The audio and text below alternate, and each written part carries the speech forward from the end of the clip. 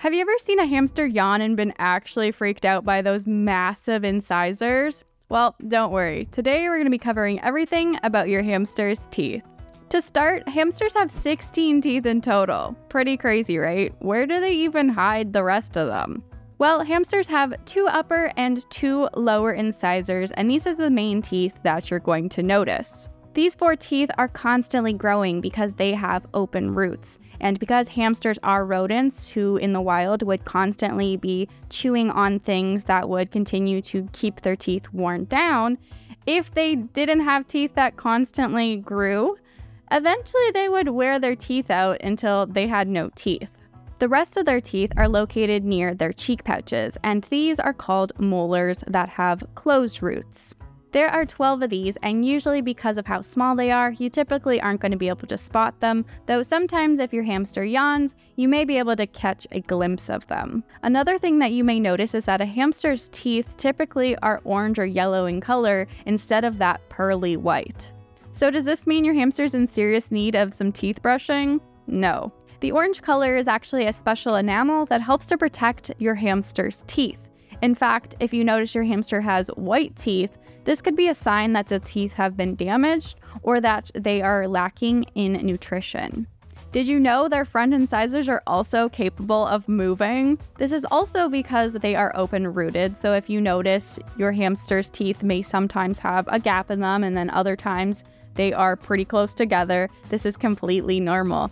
Here you may notice in this clip of Dipper yawning, you can actually see the front incisors slowly move wider and then back closer together. Okay, so how do you know when your hamster's teeth are overgrown? Many may panic when they see their hamster's bottom teeth for the first time because they look way too big for their mouth.